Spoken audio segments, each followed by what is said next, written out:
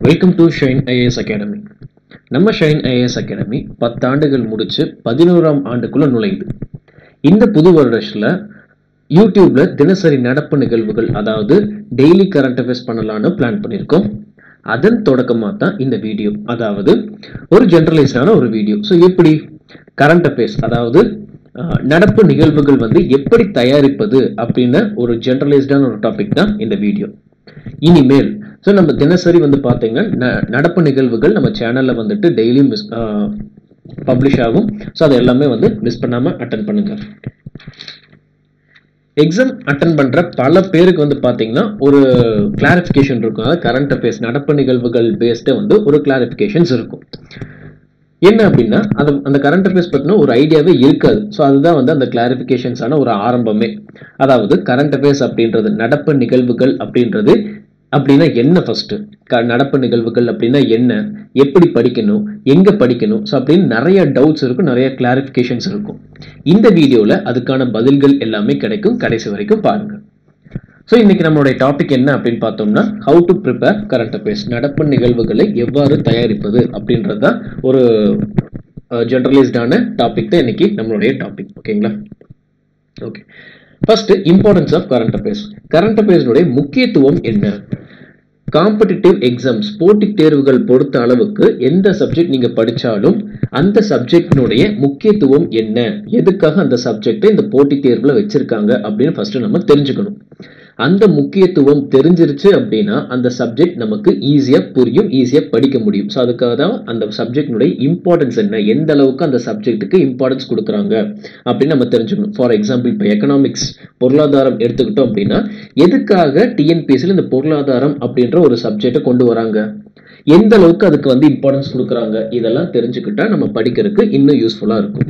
அந்த வகையில் இந்த கரண்ட் அஃபேர்ஸ்னுடைய இம்பார்ட்டன்ஸ் முக்கியத்துவம் என்ன அப்படின்றத வந்து நம்ம அடுத்து பார்க்க போகிறோம் ஃபஸ்ட்டு நாலேஜ் என்ஹென்ஸ் பண்ணும். அதாவது நம்முடைய அறிவை வந்து மேம்படுத்த ரொம்பவே வந்து ஹெல்ப்ஃபுல்லாக இருக்கும். நம்ம நியூஸ் பேப்பர்ஸ் படிக்கிறதுனால இல்லை வேறு வெப்சைட்ஸ் நியூஸ் சேனல் இதெல்லாம் பார்க்கறது மூலமாக நம்ம சுற்றி என்னென்ன நடக்குது அப்படின்னு நம்ம தெரிஞ்சுக்க முடியும். இதன் மூலமாக நம்மளுடைய நாலேஜ் நம்மளுடைய அறிவு வந்து பார்த்தீங்க அப்படின்னா மேம்படும். செகண்ட் இப்போது எல்லா எக்ஸாம்ஸ் நீங்கள் எந்த எக்ஸாம் எடுத்துக்கிட்டாலும் சரி பேங்கிங் ஆகட்டும் எஸ்எஸ்சி ஆகட்டும் டிஎன்பிஎஸ்சி யூபிஎஸ்சி எந்த எக்ஸாம் எடுத்துக்கிட்டாலும் அங்கே வந்து கரண்ட் அஃபேர்ஸ் அப்படின்றது ஒரு மேஜர் ரோல் ப்ளே பண்ணுது.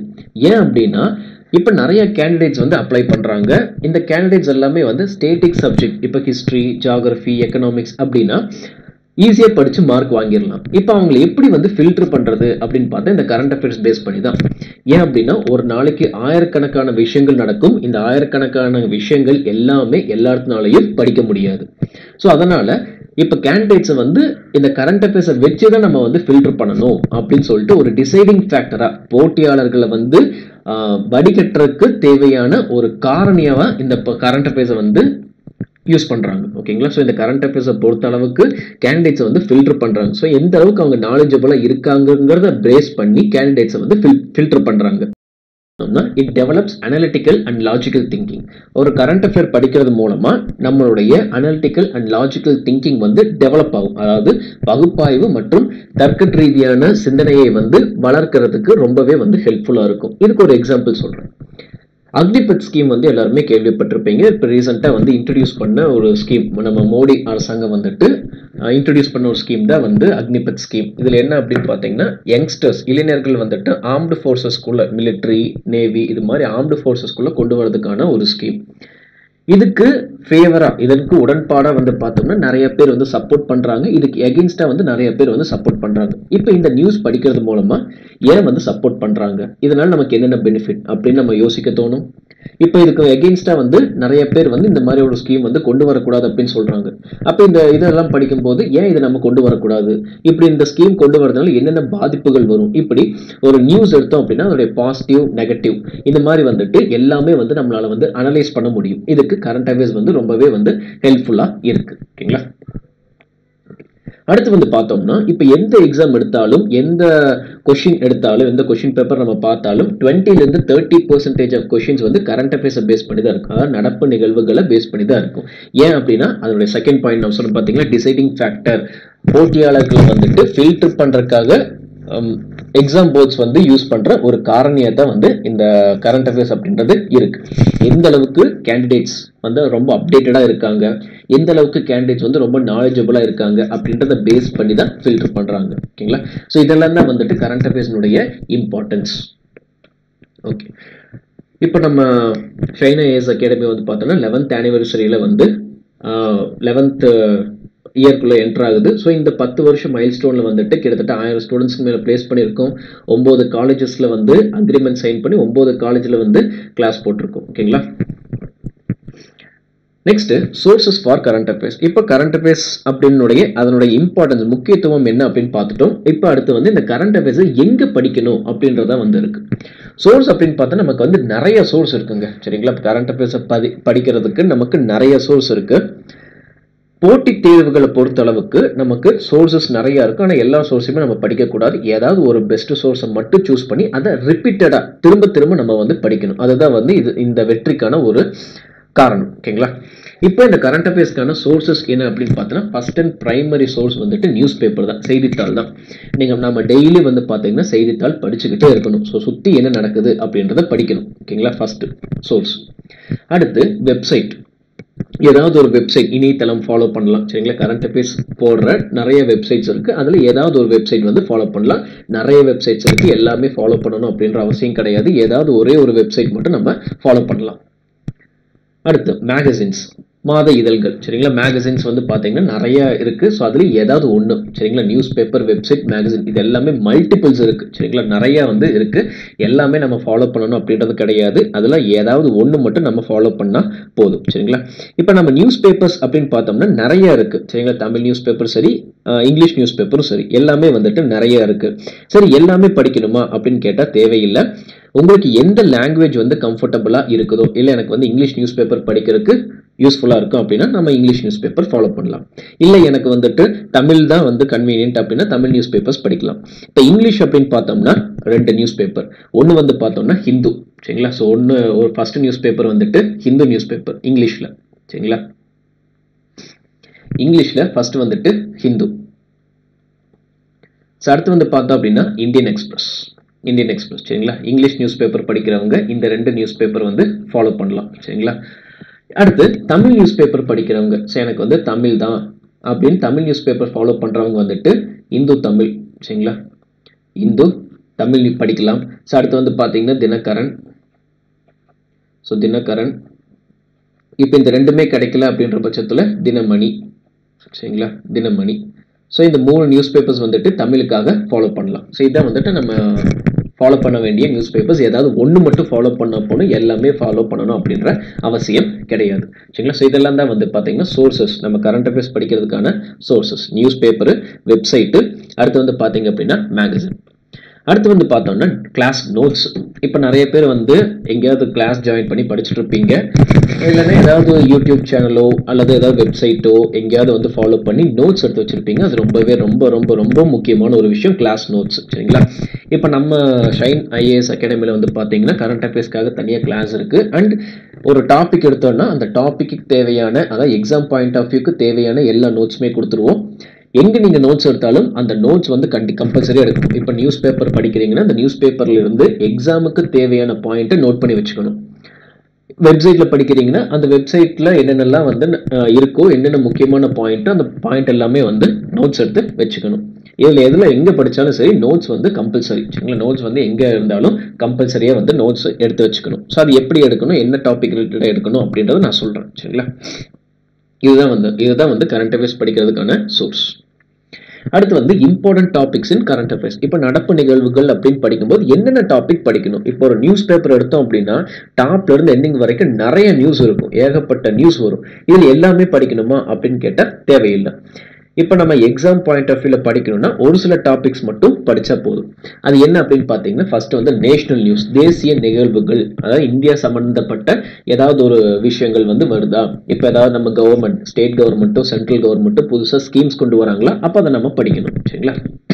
நேஷனல் நியூஸ் வந்து படிக்கணும்.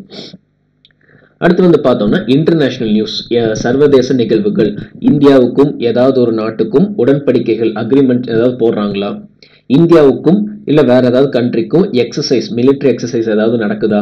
இல்லை மற்ற கண்ட்ரீஸில் யாராவது புதுசாக அப்பாயிண்ட் பண்ணுறாங்களா ஸோ இது மாதிரியான இன்டர்நேஷ்னல் நியூஸஸ் வந்து படிக்கணும். சரிங்களா? இல்லை ஏதாவது வந்து முக்கியமான bodies international bodies world bank Asian development bank IMF இது மாதிரி புதுசாக ஏதாவது பாடிஸ் ஏதாவது இருந்துச்சுன்னா அதை பற்றின நியூஸஸ் வந்து பார்த்து வைக்கணும். அடுத்து வந்து பார்த்தீங்க அப்படின்னா பேங்கிங் ரிலேட்டடான நியூஸ் எந்த பேங்க்காக இருந்தாலும் சரி இப்போ நிறைய ஆர்பிஐ வந்து பார்த்தீங்கன்னா ஒரு சில பேங்க்குக்கு வந்து ஃபைன் போடுவாங்க.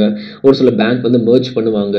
சரிங்களா? ஒரு சில பேங்க் வந்து புதுசாக ஏதாவது மொபைல் அப்ளிகேஷனோ வெப்சைட்டோ ஏதாவது லான்ச் பண்ணுவோம் இது மாதிரியான நியூஸ் எல்லாம் படிக்கணும். அடுத்து வந்து பார்த்தீங்கன்னா ஸ்போர்ட்ஸ் சரிங்களா ஸ்போர்ட்ஸ் நியூஸ் வந்து படிக்கணும். எந்த இதில் வந்து இந்த ஸ்போர்ட் அந்த ஸ்போர்ட் அப்படின்றது கிடையாது. பொதுவாகவே வந்து ஸ்போர்ட்ஸ் நியூஸ் எல்லா ஸ்போர்ட்ஸுமே படிக்கணும். கிரிக்கெட் ஃபுட்பால் ஹாக்கி செஸ்ஸு சரிங்களா? இது மாதிரி வந்து ஒலிம்பிக்கு இது மாதிரி எல்லா ஸ்போர்ட்ஸுமே வந்து நம்ம படித்து வச்சுக்கணும். சரிங்களா? படித்து அதுக்கான நோட்ஸ் வந்து எடுத்து வச்சுக்கணும். இப்போ ஸ்போர்ட்ஸில் படிக்கிறவங்க எல்லாமே வந்து நோட்ஸ் எடுக்கணும் அப்படின்ற அவசியம் கிடையாது. இப்போ ஒரு ஸ்போர்ட்ஸ் நியூஸ் வந்து படிக்கிறோம் அப்படின்னா இப்போ ஒரு செஸ் போட்டி நடக்குது. சரிங்களா? ஃபார் எக்ஸாம்பிள் செஸ் போட்டி நடக்குது. இந்த செஸ் போட்டி நடக்குது நிறைய நியூஸ் கொடுத்துருப்பாங்க. ரெண்டு பிளேயர் விளையாடுறாங்க. எந்த நிமிஷத்தில் வந்து யார் யாருக்கு யார் செக் வச்சாங்க? இந்த மாதிரி டீட்டெயில்டாகவே போட்டிருப்பாங்க. எல்லாமே படிக்கணும் அப்படின்ற அவசியம் கிடையாது. என்ன ஒரு செஸ் போட்டி நடக்குதுன்னா அதில் என்னென்னலாம் இம்பார்ட்டண்ட்டாக நோட்ஸ் எடுக்கணும் அப்படின்னா அது என்ன போட்டி? அந்த போட்டி எங்கே நடக்குது? ஃபைனலில் யார் வின் பண்ணுறாங்க ஃபைனலில் ரன்னர் யார்? சரிங்களா? ஸோ செகண்டாக வரவங்க யார்? ஸோ இந்த மாதிரியான ரொம்ப முக்கியமான ஒரு நாலுலேருந்து அஞ்சு பாயிண்ட் மட்டும் எடுத்தால் போதும். சரிங்களா? இது மாதிரி தாங்க எல்லாத்துக்குமே. சரிங்க ஸ்போர்ட்ஸுக்கு மட்டும் இல்லை எல்லாத்துக்குமே வந்துட்டு இது மாதிரி ஒரு நாலுலேருந்து அஞ்சு பாயிண்ட் மட்டும் தெரிஞ்சு வச்சுக்கிட்டா போதும். ஏன்னா எக்ஸாம்லேயும் வந்து இதே இதை பேஸ் பண்ணி தான் வந்து கேட்பாங்க. ஸோ அடுத்து வந்து பார்த்தீங்க அப்படின்னா புக்ஸ் நிறைய புக் வந்து ரிலீஸ் பண்ணுவாங்க. அந்த புக் இதுலேயும் வந்து ரொம்பலாம் வந்து அந்த புக்கு பற்றினே தெரிஞ்சுக்கணும் அப்படின்ற அவசியம் கிடையாது. அந்த புக்கினுடைய பேர் என்ன யார் எழுதுறாங்க அவ்வளோதான் வந்து நம்ம தெரிஞ்சு வைக்க வேண்டிய முக்கியமான ஒன்று ஏன்னா கொஷினில் வந்துட்டு இந்த பர்டிகுலர் புக்கை எழுதுனது யார்? அப்படின்னு கேட்பாங்க. ஸோ உங்களுக்கு ஒரு சில ஆத்தர் நேம்ஸ் கொடுத்துருவாங்க. அதில் நம்ம செலக்ட் பண்ணணும். இன்னும் கொஞ்சம் கஷ்டமாக கேட்குறோம் அப்படின்னா ஒரு ஆத்தர் நேம் கொடுத்துருவாங்க. இந்த ஆத்தர் எழுதின புக்கு என்ன? அப்படின்னு சொல்லிட்டு கொஸ்டின் கேட்பாங்க. கீழே ஆப்ஷன்ஸில் உங்களுக்கு வந்து ஆப்ஷன்ஸில் ஒரு சில புக்கு நேம் வந்து கொடுப்பாங்க. அதை பார்த்து நம்ம செலக்ட் பண்ணணும். சரிங்களா? ஸோ இது மாதிரியான புக்ஸ் சரிங்களா? புக்கு அதனுடைய ஆத்தர் பேர். ஸோ அடுத்து வந்து பார்த்தோம் அப்படின்னா இம்பார்ட்டன்ட் டேட்ஸ் இது ரொம்ப ரொம்ப முக்கியமான ஒரு விஷயம். இந்த இம்பார்ட்டன்ட் டேட்ஸ் அப்படின்றது வந்து பார்த்தீங்கன்னா ரொம்பவே வந்து முக்கியமான ஒன்று சரிங்களா? இப்போ ஜூலை பதினொன்று என்ன டே வந்து செலிப்ரேட் பண்ணுறோம் வேர்ல்டு பாப்புலேஷன் டே செலிப்ரேட் பண்ணுறோம் ஜான்வரி பன்னெண்டு என்ன டே செலிப்ரேட் பண்ணுறோம் நேஷனல் யூத் டே செலிப்ரேட் பண்ணுறோம் ஸோ இந்த மாதிரியான ஒரு சில இம்பார்ட்டன்ட் டேட்ஸ் இருக்கும். அந்த இம்பார்ட்டன்ட் டேட்ஸ் வந்து படிக்கணும். ஸோ இதில் வந்து எல்லாமே படிக்கணும் அப்படின்ற அவசியம் கிடையாது. இப்போ ஒரு டே இப்போ நேஷனல் யூத் டே செலிப்ரேட் பண்ணுறோம் அப்படின்னா எப்போ? சரிங்களா? அந்த தேதி. என்ன டே செலிப்ரேட் பண்ணுறோம் ஜனவரி பன்னெண்டு நேஷனல் யூத் டே வந்து செலிப்ரேட் பண்ணுறோம் அதாவது தேசிய இளைஞர்கள் தினம் அப்படின்னு செலிப்ரேட் பண்ணுறோம் எதுக்காக செலிப்ரேட் பண்ணுறோம் மூணாவது பாயிண்ட் வந்து எதுக்காக? ஸோ இது வந்து விவேகானந்தனுடைய பிறந்த நாளை வந்து செலிப்ரேட் பண்ணுறதுக்காக இந்த ஒரு நாட்டில் வந்து நம்ம செலிப்ரேட் பண்ணுறோம் அண்ட் ஒவ்வொரு இதுக்குமே வந்து பார்த்தீங்கன்னா ஒரு கரு ஒரு தீம் வந்து கொடுத்துருப்பாங்க. அந்த தீம் வந்து தெரிஞ்சு வச்சுக்கணும். சரிங்களா? ஸோ இந்த மாதிரியான ஒரு நாலஞ்சு பாயிண்ட் மட்டும் தெரிஞ்சு வச்சுக்கிட்டா போதுமானது. சரிங்களா? அடுத்து வந்து நியூ அப்பாயின்மெண்ட்ஸ் நியமனங்கள். சரிங்களா? இப்போ ஏதாவது ஒரு மினிஸ்ட்ரியில் செக்ரட்டரி வந்து அப்பாயிண்ட் பண்ணியிருப்பாங்க பேங்க்குக்கு மேனேஜிங் டைரக்டர் அப்பாயிண்ட் பண்ணியிருப்பாங்க ஸோ இது மாதிரி நிறைய அப்பாயின்மெண்ட்ஸ் இல்லை ஏதாவது ஒரு நாட்டுக்கு பிரசிடென்ட்டோ பிரைம் மினிஸ்டரோ வந்து அப்பாயிண்ட் பண்ணியிருப்பாங்க அதெல்லாம் வந்து நம்ம தெரிஞ்சு வச்சுக்கணும். அந்த பர்டிகுலர் பர்சன் யாரு? எங்கே அப்பாயிண்ட் பண்ணியிருக்காங்க இப்போ ஒரு பர்சன் எக்ஸ் அப்படின்ற ஒரு பர்சன் இருக்காரு அப்படின்னா சரிங்களா? இப்போ ஒரு பர்சன் எக்ஸ் அப்படின்ற ஒரு பர்சன் இருக்காரு அப்படின்னா அந்த எக்ஸ் அப்படின்ற பர்சன் வந்து ஒரு பிரசிடெண்ட்டாக அப்பாயிண்ட் பண்ணுறாங்க சரிங்களா? ஒரு பிரசிடெண்ட்டாக அப்பாயிண்ட் பண்ணுறாங்க ஸோ அந்த பிரசிடென்ட் வந்து எந்த கண்ட்ரி எந்த நாட்டு சேர்ந்த பிரசிடென்ட்டு அப்படின்னு சொல்லிட்டு கேட்பாங்க. சரிங்களா? இது நிறையா இன்டர்நேஷ்னல் பாடிஸு நம்ம இந்தியாவிலே வந்து பார்த்திங்கன்னா நிறைய பாடிஸில் வந்து இந்த மாதிரி நிறையா அப்பாயின்மெண்ட்ஸ் பண்ணுவாங்க. அதெல்லாம் வந்து கம்பல்சரியாக படித்து வச்சுக்கணும்.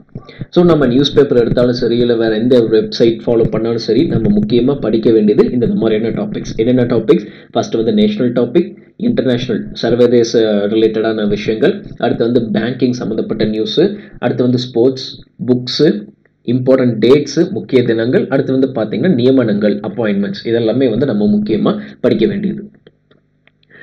ஸோ அடுத்து வந்து நம்ம ஷைன் அகாடமியில் வந்துட்டு கிளாஸஸ் ரிலேட்டடாக என்னென்னலாம் இருக்குது ஸோ அப்படின்னு சொல்லிட்டு பார்ப்போம். ஸோ நம்ம கிளாஸஸ் அப்படின்னு பார்த்தீங்கன்னா பேச்சஸ் டிஃப்ரெண்ட் பேச்சஸ் வந்து கொண்டு வரோம். ஸோ என்னென்ன அப்படின்னு பார்த்தா காலையில் seven to nine ten to one two to four six to eight plus வந்து பார்த்தீங்க அப்படின்னா வீக்கெண்ட் பேச்சஸும் இருக்குது ஸோ இதெல்லாமே வந்து ஆஃப்லைன் என்னால் வந்து ஆஃப்லைன் வர முடியாது. ஆன்லைனில் மட்டும்தான் படிக்க முடியறவங்களுக்கும் ஒரு ஸ்பெஷல் ப்ரொவிஷன்ஸ் இருக்குது என்னென்னா ஆன்லைன் கிளாஸும் இருக்குது ப்ளஸ் ரெக்கார்டர் கிளாஸும் இருக்குது ஆன்லைனில் நம்ம லைவாக கிளாஸ் அட்டன் பண்ணலாம். அப்படின்னா வந்து ரெக்கார்டர் கிளாஸும் இருக்குது ஸோ எல்லாமே வந்து பார்த்தீங்கன்னா டெய்லியும் வந்து நமக்கு கிளாஸஸ் இருக்கும். இப்போ வீக் வீக் டே பேட்ச் இருக்குது அப்படின்னா எல்லாமே வந்து ஷெட்யூல் போட்டு டெய்லி ஒவ்வொரு கிளாஸஸ் இருக்கும். இந்த ஒவ்வொரு கிளாஸ்லேயும் வந்து பார்த்தீங்கன்னா கரண்ட் அஃபேர்ஸ் ரிலேட்டடாகவும் வாரத்துக்கு ஒரு கிளாஸஸ் இருக்கும். அங்கே தேவையான நோட்ஸ் எல்லாமே வந்து ப்ரொவைடும் பண்ணிடுவாங்க கிளாஸஸ் வச்சா மட்டும் பத்தாது. வீக்லி வந்து பார்த்தீங்கன்னா அந்த கிளாஸில் நாம் படித்தது என்ன நம்முடைய நாலேஜ் எப்படி இருக்குது அப்படின்னு டெஸ்ட் பண்ணுறதுக்கு வீக்லி டெஸ்ட்டும் இருக்குது சரிங்களா? ஸோ இது எல்லாமே வந்து அந்த வீக்லி டெஸ்ட் எழுதி எழுதி முடிச்சதுக்கப்புறமா அது அனலைசஸும் நம்ம பண்ணுறோம் சரிங்களா? ஸோ இதெல்லாமே வந்து ஷைனா அகாடமியில் வந்துட்டு இருக்கக்கூடிய கிளாஸஸ் ரிலேட்டடான நியூஸ் ரைட் ஓகே ஸோ நம்ம ஃபைனலாக வந்து எண்ட் ஆஃப் த செஷன் வந்தாச்சு.